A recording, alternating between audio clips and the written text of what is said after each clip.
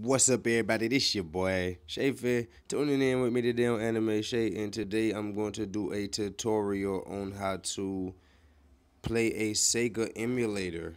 I've been asked a few times by a couple of people that's on my channel, and um, I appreciate you for watching the videos that I do put up. And um, I just want to give an example, a tutorial on how do we basically put these Sega games on my phone and play them. And uh, so if you're interested, join in. And to start off, um, I am going to show you. Wait a second. Okay, Gen Plus Droid. Now, there's many ways you can do this. It's all up to you, personal preference. But once uh once you basically download Gen Plus Droid, or you can type in Sega emulator. I'll show you from the Play Store to begin with, wherever Play Store is at. Move this. So we're gonna type in type in Sega Sega emulator. So you can just type it in like that. It should be like the first or second one. Move this out the way. You scroll, scroll. Yeah. Okay. So here we go basically you're gonna scroll and you're gonna see Gen Plus Droid. Now, if you want to use a different emulator, that's up to you. But I know how to use this one for a fact, 100%. I don't really mess with too many other ones once I got one down packed. So it's up to you, personal preference. Okay, but um, oh, and if you hear that background noise, it's people swimming in the pool at my complex. Um, I'm actually outside. But anyway, so you're gonna install that once you install it, you're going to open it. And there's one thing about it when you open it and to go to load the ROM, you're going to have to look for where it went. And it's going to be, you're going to hit parent directory, and you're going to hit parent directory again, and you're going to go to download. So you're going to go to the D's. And once you get to D's, you're going to hit download or wherever the game went, wherever you put it, or if you put it anywhere, and if that's the case, and you're gonna click on whichever Sega game that you downloaded. So Streets of Rage 2. I want to play Streets of Rage 2. You're gonna click on it, and I believe it's like the first or second one, whichever one is the biggest. Supposedly, I think that's the file for the game. Um, so I'm gonna try this one. Yeah, so it comes on, or at least I think it comes on. Okay, I may have clicked on the wrong freaking one. Try this again. Sorry about that. You're gonna load the ROM, hit parent directory. Parent directory, go to your download folder. And then you're gonna hit, or let's try Contra, Hard Corps. And you're gonna go to the one with the BIN or whatever file you know you downloaded exactly how it looks. You're gonna click that file. It's gonna come on. The game is gonna play, and basically, you have your Sega games. Um, now, this particular person asked me about Pac-Man. The only thing is, when you download the games, I will show you. You can go to free ROMs.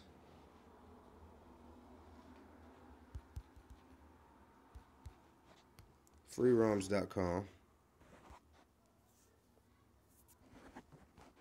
Once you get to freeroms.com, you can basically look up any old video game, not even old video games. You can look up like PlayStation, like PSP and sheesh, Game Boy Advance, all this other stuff, Dreamcast, mostly old games. Um, some websites have Nintendo DS emulators and whatnot. But anyway, you're gonna go to this you're basically gonna find whatever game you're looking for.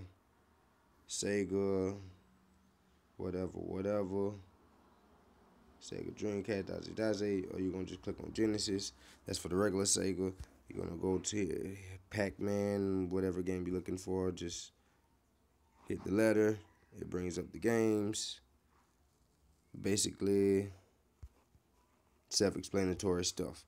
But some games you have Japanese versions, other versions, hack versions, cheat code hack versions, betas, all type of stuff. So same as with other games on the other consoles. Um, basically, you can get whatever you want to get.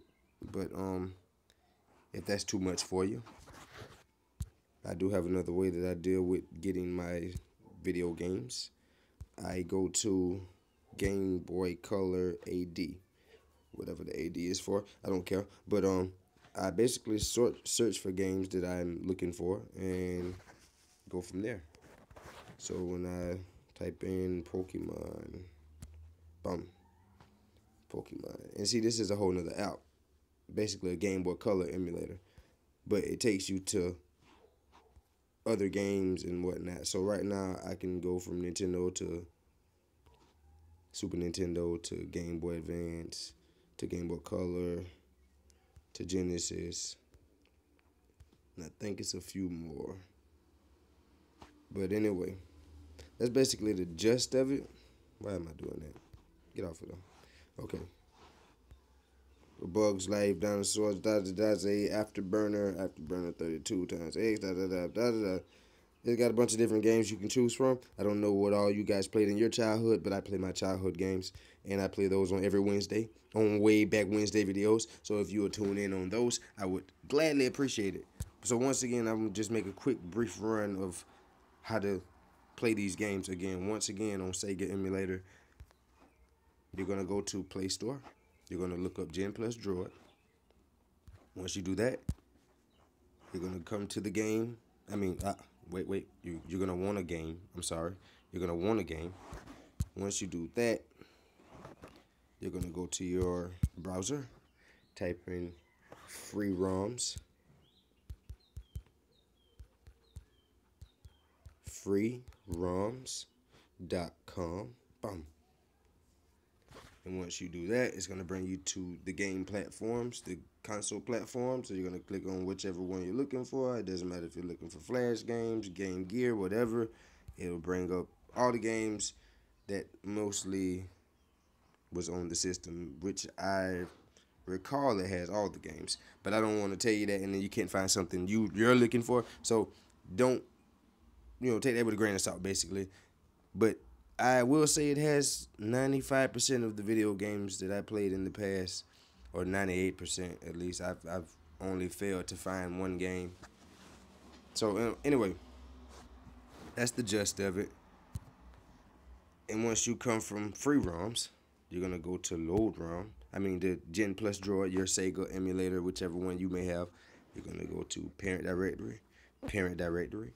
You're going to go to download once you go to download, I just passed it. Once you go to download, you're going to click on whichever Sega game you have. See, I have Nintendo 64 games here, Sega games, Game Boy Color games, freaking. I had PlayStation games, but it's alright. Anyway, basically, you're going to click on what you're looking for. I'm clicking on Pac Man. Someone asked me about this game specifically. I used to love the shit out of this game, which I still do. Um, I'm going to try to finish this and make another video on this game for you guys, but I'm not going to play it right now. But be sure that you tune in for that. And yeah, this is Pac-Man 2 Adventures. The new adventures. How about that? fun game, fun game. I will say this this is a fun game. St was always was a fun game and still is a fun game. So yeah, fast forward that, fast forward that. And see, with this emulator, you can fast forward the game, get to where you're trying to go a little faster. You can always press start and skip through it. But it works just like the regular Sega game. X, Y, and Z does nothing for this game, so don't worry about pressing it. Depends on what games use what button layout and whatnot. But anyway, long story short, that's how you basically get your emulator in your games to play. Hey, look at Pac-Man's house back there. But um, yeah. This has been Sheafy on Anime Shea. And if it's anything you're trying to figure out and which games do you want to play, please let me know. And we can definitely do a video on it. Once again, this has been your boy Sheafy on Anime Shea. Please tune in every week, every weekend. Peace. Do do do do do do do do do do do.